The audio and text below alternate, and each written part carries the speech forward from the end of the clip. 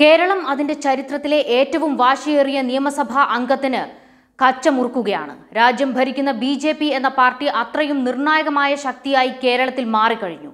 ഓരോ മണ്ഡലത്തിലും തീപാറുന്ന പോരാട്ടമായിരിക്കും മൂന്ന് മുന്നണികളും കാഴ്ചവെക്കുക.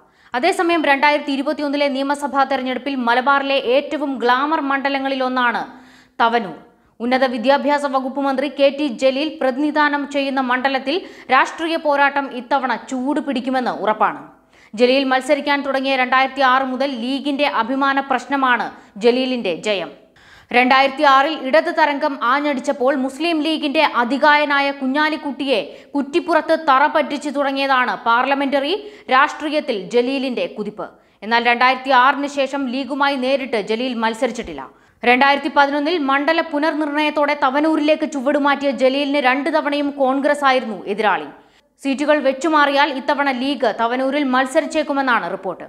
അതേസമയം മൂന്നാം തവണയും ജലീൽ മത്സര രംഗത്തുണ്ടാകുമോ എന്ന കാര്യത്തിൽ സ്ഥിരീകരണം ആയിട്ടില്ല. മത്സര രംഗത്ത് നിന്ന് മാറുമെന്നും അധ്യാപനത്തിലേക്ക് മടങ്ങുമെന്നും ജലീൽ നേരത്തെ അറിയിച്ചിരുന്നു. എന്നാൽ സമകാലിക രാഷ്ട്രീയ സാഹചര്യത്തിൽ ജലീൽ ഒരിക്കൽ കൂടി മത്സരിക്കണമെന്ന ആവശ്യവും പാർട്ടിക്കുള്ളിലുണ്ട്.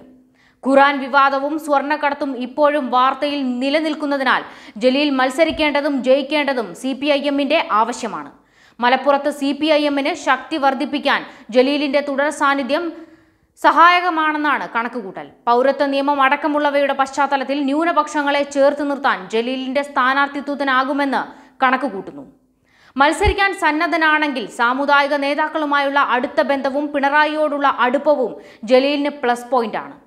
അതേസമയം കോൺഗ്രസിൽ നിന്ന് സീറ്റ് എടുക്കാനാകുകയാണെങ്കിൽ സർവസമ്മതനായ സ്വതന്ത്ര സ്ഥാനാർത്ഥിയാകും ലീഗ് പരിഗണിക്കുക. ഇതിൽ മുൻപന്തിയിലുള്ളത് ചാരിറ്റി പ്രവർത്തകനായ ഫിറോസ് കുന്നംപറമ്പിലിന്റെ പേരാണ്. ലീഗ് പ്രവർത്തകനായിരുന്നെങ്കിലും സ്വതന്ത്രനായിട്ടായിരിക്കും ഫിറോസിനെ പരിഗണിക്കുക. അതേസമയം ചാരിറ്റിക്കിടയിലെ അഴിമതി ആരോപണത്തിന്റെ നിഴലിൽ നിൽക്കുന്ന ഫിറോസിന് സീറ്റ് കൊടുക്കുന്നതിൽ പാർട്ടിയിൽ നിന്ന് പൂർണ പിന്തുണ ലഭിക്കുമോ എന്നതും കണ്ടറിയേണ്ടതാണ്. മണ്ഡലം വിട്ടുകൊടുക്കാൻ കോൺഗ്രസ് തയ്യാറായില്ലെങ്കിൽ റിയാസ് മുക്കോളിയായിരിക്കും സ്ഥാനാർത്ഥി. യൂത്ത് കോൺഗ്രസ് അവകാശം ഉന്നയിക്കുന്ന മണ്ഡലങ്ങളിൽ ഒന്നാണ് തവനൂർ. മലമ്പുഴയിൽ നടന്ന സംസ്ഥാന ക്യാമ്പിൽ എടുത്ത തീരുമാനപ്രകാരം പട്ടിക അഖിലേന്ത്യാ യൂത്ത് കോൺഗ്രസ് നേതൃത്വത്തിന് കൈമാറിയിരുന്നു. ഇതിൽ റിയാസ് മുക്കോളിയെ തവനൂരോ പട്ടാമ്പിയോ മത്സരിപ്പിക്കണമെന്ന് യൂത്ത് കോൺഗ്രസ് ആവശ്യപ്പെടുന്നുണ്ട്. അതേസമയം ഖുറാൻ വിതരണത്തിൽ അപാകതയില്ലെന്ന് ജലീൽ ആവർത്തിക്കുകയാണ്. നടന്നത് പതിറ്റാണ്ടുകളായി നടക്കുന്ന സാംസ്കാരിക വിനിമയം മാത്രമാണ്. ഇക്കാര്യത്തിൽ പ്രോട്ടോകോൾ ലംഘനമോ നിയമലംഘനമോ ഉണ്ടായിട്ടില്ല. ഖുറാൻ സിയാപ്റ്റിലെത്തിക്കാൻ താൻ തന്നെയാണ് നിർദ്ദേശിച്ചത്.